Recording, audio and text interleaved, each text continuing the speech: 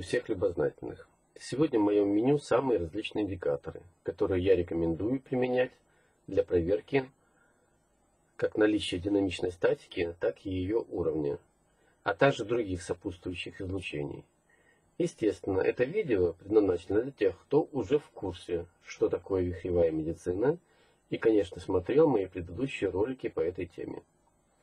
В первую очередь я покажу работоспособность всех возможных вариантов индикаторов на мною разработанном вихревом излучателе. Я уже делал презентацию этой новейшей конструкции, и перед вами самый последний образец, который оказался самым мощным и результативным. Но все подробности об этом и других разработках будут в ближайших выпусках. На сегодня существует три основных типа индикаторов. Это светодиодные, неоновые и газоразрядные. Ну, осциллографы и тестеры сюда не входят. Светодиодные из-за простоты изготовления и применения датчиков самые массовые. Но у них есть большой недостаток. Все известные индикаторы на светодиодах показывают наличие не электростатической напряженности, а паразитное для вихревой медицины радиоизлучения. Нас же в первую очередь интересует статика. И в этом я вам покажу, как увидеть статику при помощи светодиодов. Вторые по значимости индикаторы – это неонки. Вот они показывают саму статику и к радиоизлучению отношения не имеют. Но у них довольно низкая чувствительность, и в слабых катушках при их помощи сложно делать замеры. Хотя с моим излучателем светится абсолютно все. Третий вид индикаторов это люминесцентные. В основном применяется в исследовательских целях. Именно в этом они удобны в использовании. Значит, в первую очередь я покажу на своем вихревом излучателе, так как на нем достаточно ярко все будет видно. Потом немножко, наверное, затронем вот эти катушки. Если не сильно затяну с этим обзором. Значит, все по порядку. Включаю систему. Вот видно, что индикаторы зажглись. То есть статика уже здесь идет. Да, хочу подчеркнуть, что вот именно здесь именно чистая статика. Радиоизлучения здесь практически нету. Они вот здесь концентрированы, в основном вокруг этой катушки. И сейчас мы посмотрим, как это получается. Вот берем мои самые чувствительные индикаторы светодиодные. Вы их не раз уже видели. И вот можем посмотреть. Я, наверное, сделаю свет поменьше, чтобы было более ярко все видно.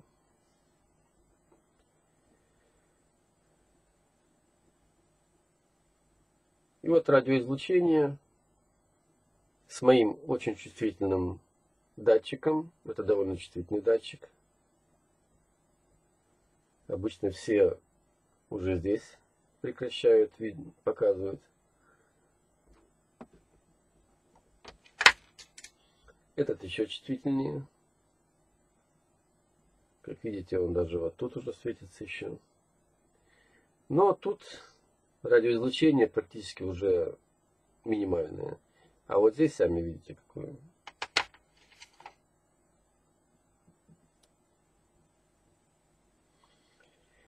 Это индикаторы на ферритовых стержнях. Ну, как его собирать?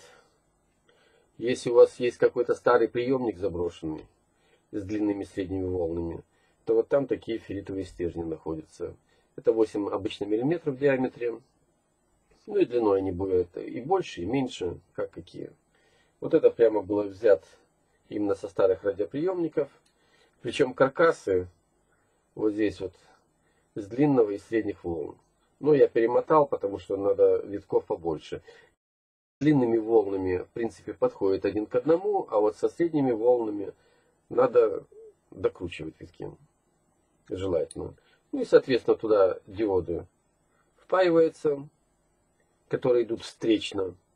Ну вот здесь вот, как обычно, стандарт два диода встречных.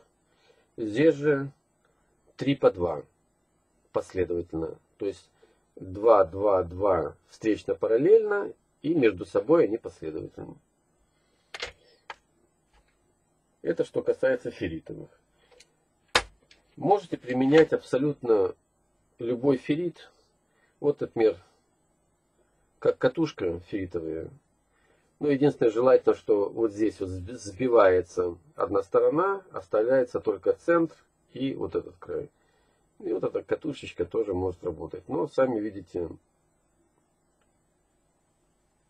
показывает она не сильно. Вот прямо с кусочков любых. Вот взял кусок, опять же, восьмерочки ферритовой. И вот, пожалуйста, желательно секционно мотать. Вот как на длинных волнах, самое идеальное. Вот здесь секции, например, 5 секций. Да? И вот по этим секциям примерно так и мотать. Ну, по крайней мере, чувствительность повышается. Мотается, если вот примерно таких размеров брать, ну, например, там 5-10 сантиметров э, длина стержня, то где-то мотается 250-300 витков. Провод 0,1 лакированный. Толще абсолютно не надо, даже можно 0,05, 0,07. Но с ними немножко сложновато возиться, рвутся очень быстро.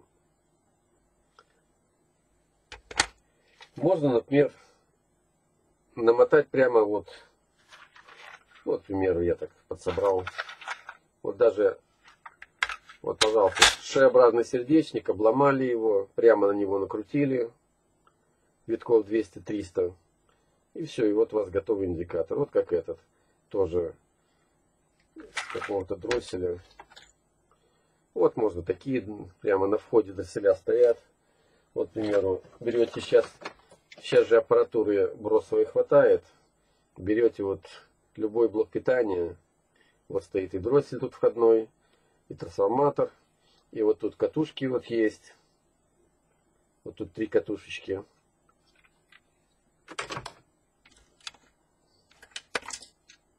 Подобно вот этим. Вот на них часто делают. Берут всякие светодиодики с аппаратурой вытаскивают. Бушные. Тоже бросовые. И вот делают. Но они имеют очень малую чувствительность. Совсем близко надо катушки подводить. И, естественно, обязательно надо всегда ставить два диода встречно. Ну, вот, например, вариант вот такой.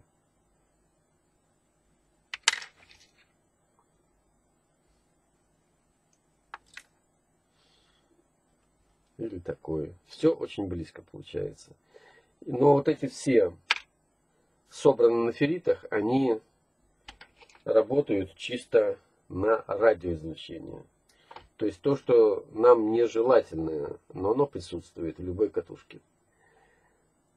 Поэтому, когда мы смотрим, что у нас вроде как мощность большая, на самом деле это мощность радиоизлучения. А уже про статическое, по статическому излучению, это мы сейчас будем говорить по-другому.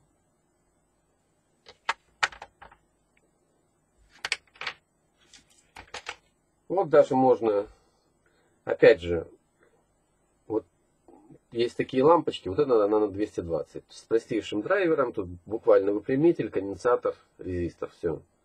Простейший. Вот. И здесь смотрим, он не реагирует, а здесь, пожалуйста, реагирует. Вот эти светодиодные лампочки, они чем хороши, они именно работают на статику. То есть здесь нету никаких контуров, никаких катушек, ничего, но этого достаточно статического поля. Ну, правда, вот здесь, вот видите, вот оно еле-еле светит. А на катушках всяких левых, там, типа, намотанных на витой паре, и вообще не на понятно на каком проводе, это светиться, конечно, не будет. Здесь подходят только вот такие индикаторы и то не самое лучшее. Вот, поэтому даже можно брать из старых телевизионных разверток. Там хватает всяких дросселечков. Главное, чтобы был сердечник. Они даже могут подходить прямо один к одному, но бывает часто надо перематывать. Вот пример у меня вот тоже. Просто светодиоды прицепил, и вот тебе индикатор. По крайней мере, ими пользоваться можно спокойно и видеть наличие, включена катушка или не включена. Конечно, вот эти хороши тем, что вы можете даже фокусы на них показывать. Э, то есть берете, например, плоскую катушку, ну или даже бублик, то есть то цепляете сзади к спине, и, а здесь с этой стороны к животу, и будет живот светиться. Такие фокусы.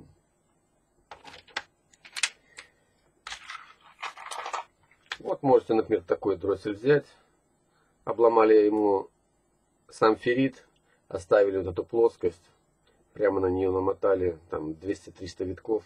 Все, вот готовый. Можете попробовать использовать, но обязательно надо ломать. А то есть катушечку можно использовать, но О-образное оно не должно быть. Ни Ш-образное, ни О-образное. То есть замкнутого не должно быть феррита. Должен быть просто кусок. То есть это все отбивается, остается только сердечник. Он даже от чего-то отбился кусок феррита, кривой, косой, какой не имеет значения. Тоже намотали, и он у вас будет работать. По крайней мере, сантиметров 10-15, даже на, на хороших катушках он будет брать.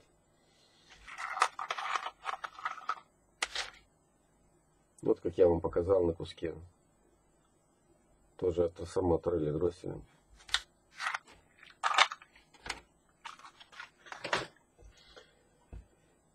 Теперь есть бесферритовые варианты.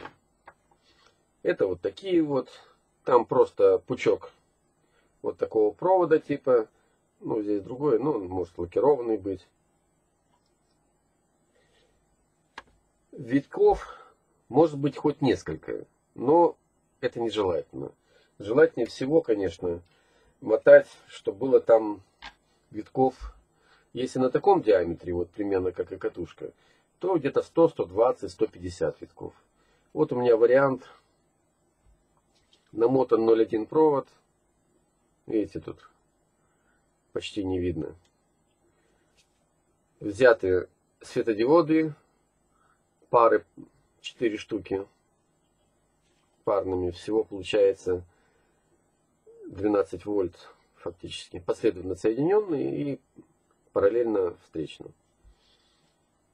И вот они, вот пожалуйста, горят они довольно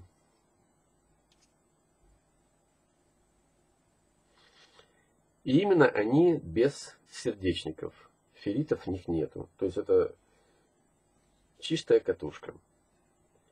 И вот они опять же только работают на радиоизлучение.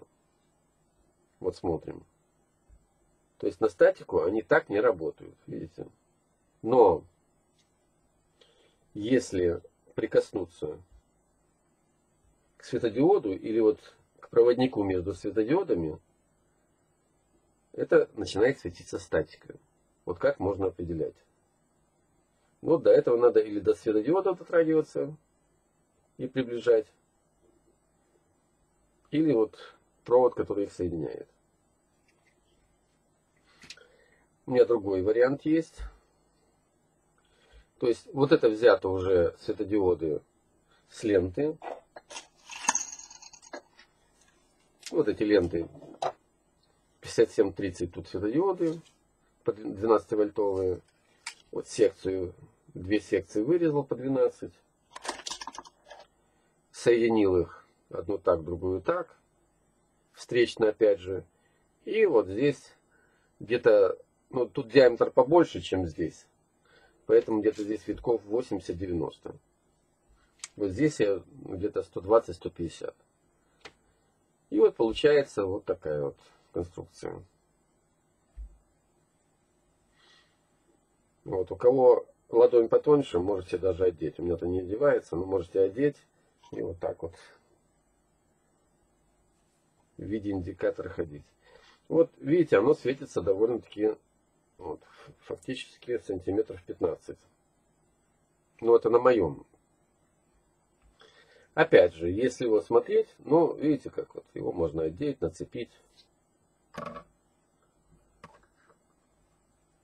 Вот получается 3 по 2, 6 светодиодов. Видите, какая яркость? Фактически фонарик. То есть они сейчас светят практически полный накал. Мы еще к этому вернемся насчет. Вот. И для того, чтобы они светили по статике, достаточно дотронуться до шлейфа. Но эти шлейфы, они изолированы, поэтому мы дотрагиваемся фактически не до шлейфа, а просто к нему, как емкость. И вот получается, вот, вот сейчас эти светодиоды горят именно от статики. Мы можем так определять статику. Но излучение должно быть, естественно, достаточно мощным. Это вот на моем излучателе очень хорошо искать так. А на обычной катушке, конечно, это будет не очень. Но они тоже светятся.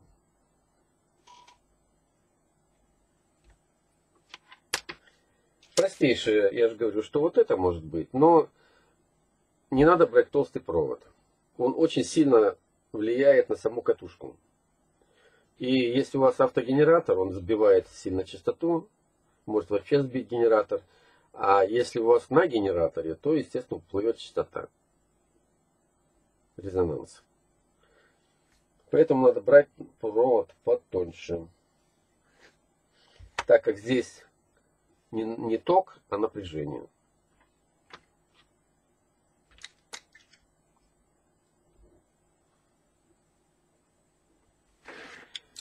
Дальше берем индикаторы неоновые.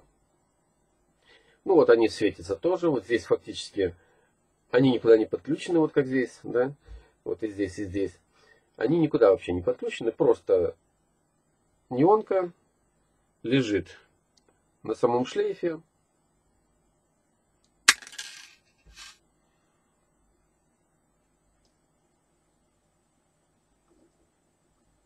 Вот. И достаточно вот этих проводков, чтобы она светилась. Вот. Ну или если я дотрагиваюсь, то соответственно, видите, тут сколько сантиметров, они где-то сантиметров 5-6, оно еще светится. Вот эти вот неонки, они самые оптимальные. Это китайские, из Китая, диаметром 6 миллиметров. У меня есть и 5 миллиметров, и 4 миллиметра. Вот эти вообще вот мелкие 4 миллиметра. Они тоже все светятся, конечно. Прямо в пакетике, то есть я даже их не трогаю. Просто достаточно моей емкости. Я вот через полиэтилен. Достаточно емкости, чтобы они горели. Но опять же, это все связано с хорошим излучением. Если у вас катушки слабенькие, генератор слабый и вообще все слабое, то на неонках вы мало что увидите. Вот, как, к примеру, есть МТК-90. У нас прямо полыхает. Видно, да? ТЛ-3 зелененькое. Оно все светится. Ну, еще куча у меня тут всякого есть. Уже не буду вам демонстрировать. Да, еще светодиодный вот это. Вот здесь тоже на тонком проводе. Два светодиодика. Это уже пример, как реализовывать, как их делать. Вот тут у меня есть варианты коробочек всяких. Это, как я уже показывал когда-то, и вот сейчас еще раз показываю. Вот. Это монтажная коробка, радиокоробка или телефонная. Ну, главное то, что она невысокая и удобная. Вот прямо можно...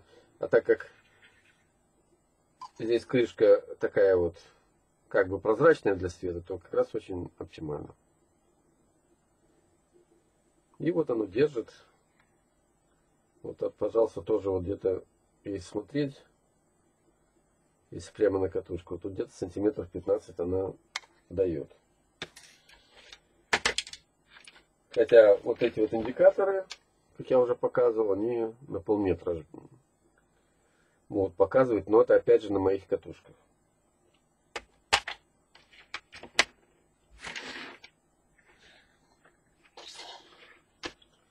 Вот такие коробочки хорошие тоже. Это тоже все монтажные коробки. Квадратные, круглые, без разницы. Можно вот как эти бескорпусные. Просто я вам показываю варианты.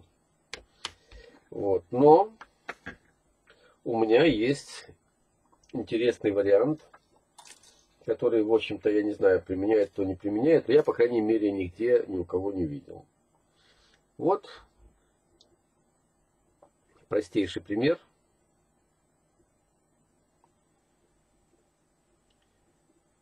Вот эти светодиоды работают только от статики, то есть от радиоизлучения они не работают.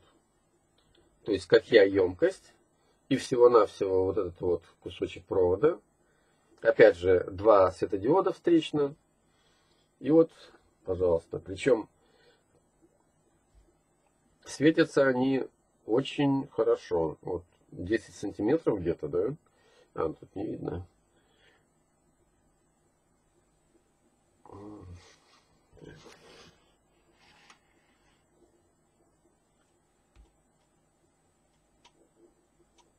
Вот высоту показываю. Ну, в общем, где-то 10 сантиметров. Они еще горят. Не знаю, видно, вот, вот еще это горят. Чуть-чуть слабо очень, но вот.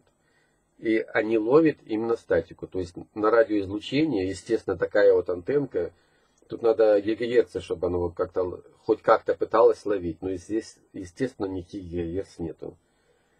Я мог бы вам показать на анализаторе. У меня есть разные анализаторы, как и осциллограф, так и специальные радиоизлучение, там, особенно гармоники, они там настолько минимальные, что ими можно пренебрегать. Вот, вот это все идет в данный момент. Вот оно, так как здесь излучатели идут, вот провода, вот оно уже, так сказать, их ловит. Вот, пожалуйста. То есть трогать не надо, ничего не надо, просто индикатор светится. Вот другой вариант. Это хорош тем, что он, ну как хорош, просто вариант. У него тоже высокая достаточно чувствительность.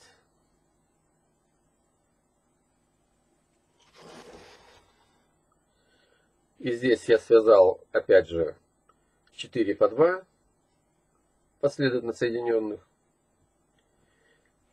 И здесь просто замкнутое кольцо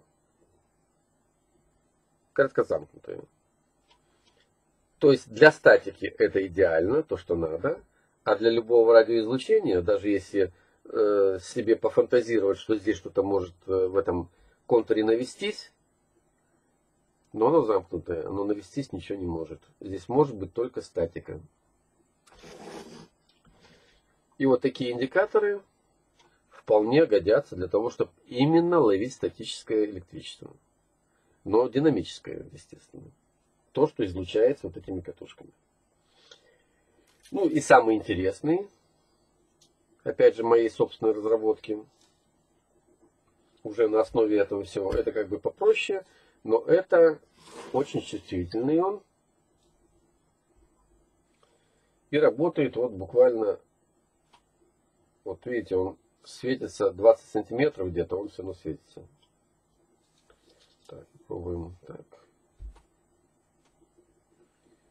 Вот больше 20 сантиметров. Не знаю, видно или нет на камеру. Но вот он еще светится сейчас, а тут расстояние больше 20 сантиметров. Здесь абсолютно то же самое. Типа как вот этот вариант только здесь спираль. Не замкнутая спираль. Здесь вот э, конец один, и спираль, конец второй. Ну, еще для большей чувствительности, чтобы я, так сказать, свое тело э, давал как емкость дополнительно. Вот, потому что вот можем посмотреть. Вот я даю больше, меньше. Вот сейчас касаюсь. Опять же, я не напрямую проводу касаюсь, а через изоляцию. Но тем не менее, этой емкости хватает, чтобы ярче повысить чувствительность.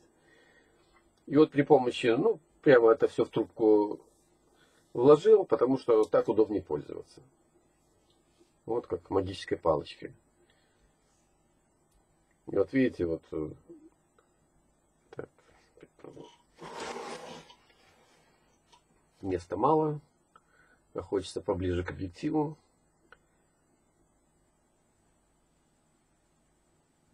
Видите, довольно ярко светится. А на каком расстоянии я нахожусь. Но, правда, это все касается излучателей. Здесь мощность просто мощь, мощность очень большая. Эти излучатели бьют на несколько метров. Чувствуется статика. На этих тоже, конечно, на катушках вот это будет видно. Но не так сильно. Вот варианты, которые идеально подходят именно для проверки статики. То есть на самом деле, потому что если у вас уж совсем э, левая какая-то катушка и сделана ну, совсем левым проводом, не по технологии, как я вам показывал раньше, я потом еще покажу усовершенствование технологии этой всего, как-то все не доберусь для того, чтобы вам видео сделать. я покажу, как левая, как правая. Ну вот у меня тут есть куча катушек, естественно которые я пробовал и на витой паре, и на таком проводе, и на таком проводе, каких только не пробовал. Вот. Конечно, на левом проводе, который даже не витая пара, вообще неизвестно что, там, ну, естественно, никакой статики не будет. Там будет только радиоизлучение. И толку от такого лечения, конечно, не будет. Только даже, ну, даже вред. Потому что радиоизлучение будет присутствовать, будете повышать мощность генератора, потому что нету никакого толку. И, соответственно, а повысили мощность генератора, соответственно, пошло излучение. Что очень нехорошо. И показываем третий тип, который обычно применяется для исследований. Но тоже вот он... Я вам показывал уже в презентации вот эти излучатели на более толстых лампах. Ну вот сейчас вот себе достал такие лампочки. И вот смотрим, видите, какой вот они.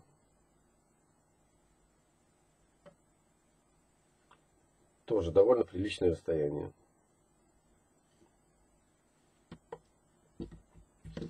И вот смотрим, как тут он слабо горит и как тут же мощно загорается. То же самое и вот эти вот поменьше, еще меньше.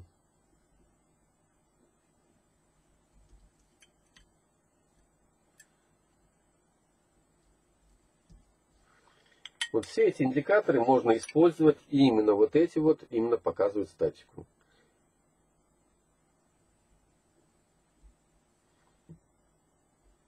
Они именно зажигаются от статического электричества. Ну и тут для исследований хорошо нюансы посматривать на них. Потому что здесь вот, не знаю, видно или не видно опять, волны бегают. Возникают и стоячие волны, и такие, и туда, и сюда, и все это можно по ним ориентироваться. Так, ладно, время идет. Не будем затягивать. Вот типы индикаторов. Значит, где светодиоды? Какие светодиоды применять? Конечно, я говорю, можно натыкать э, всяких, э, набрать светодиодов, это вот барахла, э, с аппаратуры бэушной, которая сейчас везде и всюду выкидывается. Но вот эти все индикаторные светодиоды, они очень плохо показывают, очень неформативно. И они имеют недостаток, они загораются только при определенном токе. И все. А вот эти вот, бескорпусные, который применяется обычно в лампах. Вот всех этих разные лампочки берем. Есть вот эти 50-50, есть 28-30. Но я бы рекомендовал именно 57-30. Вот, вот таких типах. И вот то, что я применяю, вот это вот лента бескорпусными светодиодами, 100 штук, стоит полтора-два бакса очень дешево. Ну, если все-таки и это сложно для вас, вот, пожалуйста, можете любые лампочки разобрать, там найдете вот эти все, без... ну, правда, аккуратно их спаивать, выпаивать надо, так как они обычно на металлической подложке, просто греется с этой стороны, нагревается. достаточно, ну, конечно, не перекалить, а, а так оптимально снизу их поджарить. И как только увидите, что начинает припой уже отрываться, то их просто слизываете отсюда и все. И дальше уже можете паять самостоятельно, вот по парам, как я говорил, встречно. Обязательно надо светодиоды встречно соединять, потому что если оставлять только один светодиод, он, э, так как статика здесь очень огромная, здесь же несколько тысяч вольт может быть, они просто может обратным током пробиться. А горят они бывают хорошо.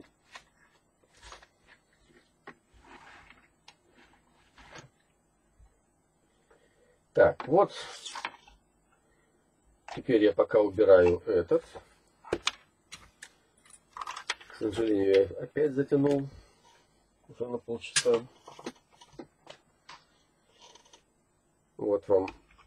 Я уже показывал в этой презентации. Ну, к примеру, делал, сделал сейчас ножку такую. Они у меня сейчас все на ножках.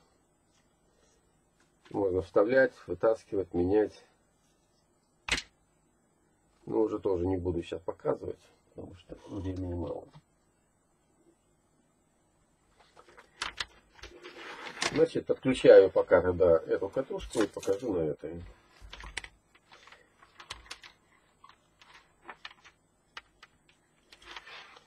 Так, хотел показать на этом сравнительно. Вот тут э, в этом излучателе стоит точно такая же трифилярная катушка.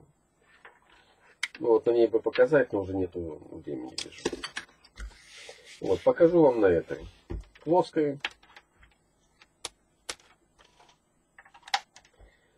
Вот здесь, на этой плоской 007 МГТФ.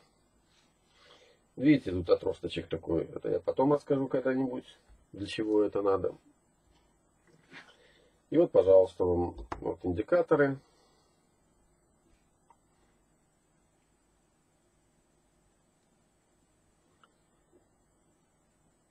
Видите, какая яркость свечения. То есть фактически они уже светят в полный накал.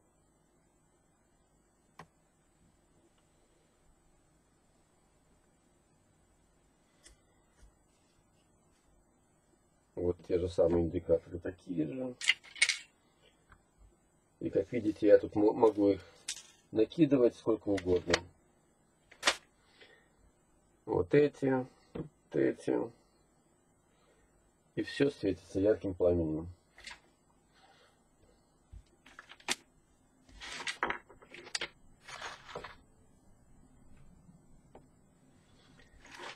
Я могу еще сюда кучу набросать, и все это будет светиться. Хотя, я уже как говорил, вот я применяю вот этот генератор, он умощненный, но 1,4, где-то 1,3 вольта пик-пик, как мы говорим. То есть амплитудного значения, которое здесь выходит с генератора, если здесь вот поставить резистор на 1 Ом и замерить осциллографом, пик-пик будет 1,5 вольта. Ну, 1,3, 1,4 точнее.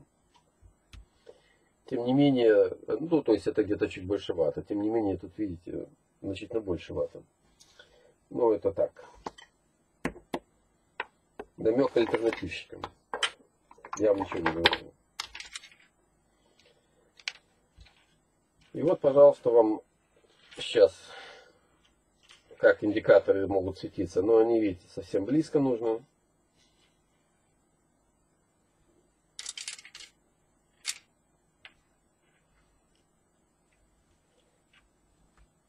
Есть можно понять, что здесь статика идет. Лучше всего, конечно, вот на этом отростке.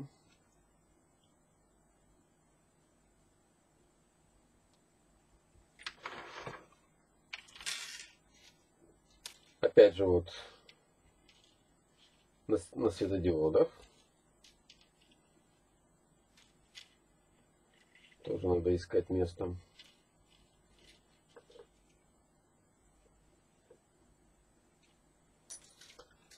Самый простенький.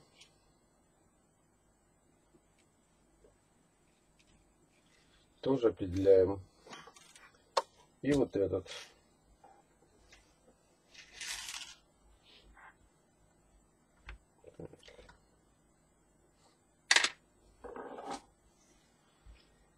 Вот эти все индикаторы будут работать, действовать. Вот можем на него, э, на газоразрядных посмотреть.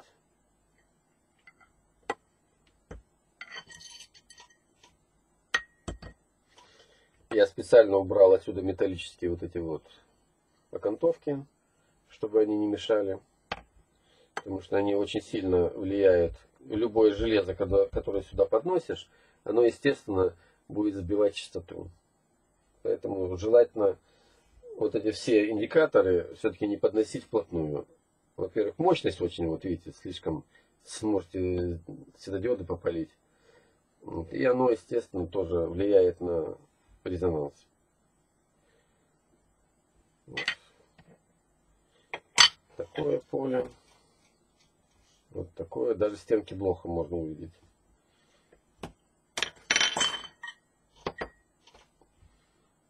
Вот такие индикаторы. Так что или уложился полчаса.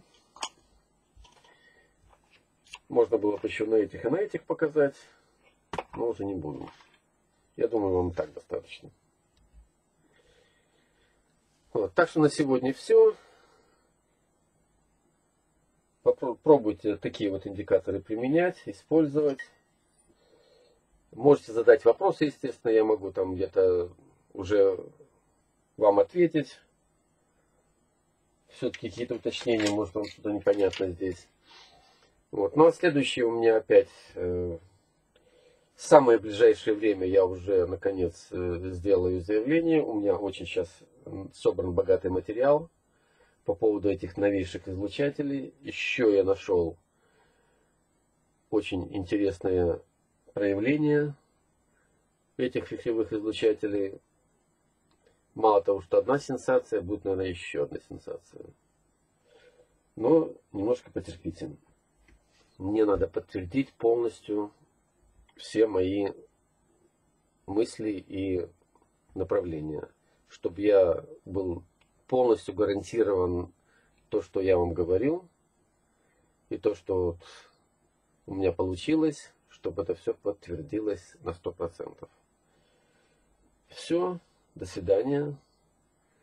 Не забываем, что здоровье это самое главное, поэтому заботьтесь о здоровье. И занимайтесь катушками которые вообще-то не катушки.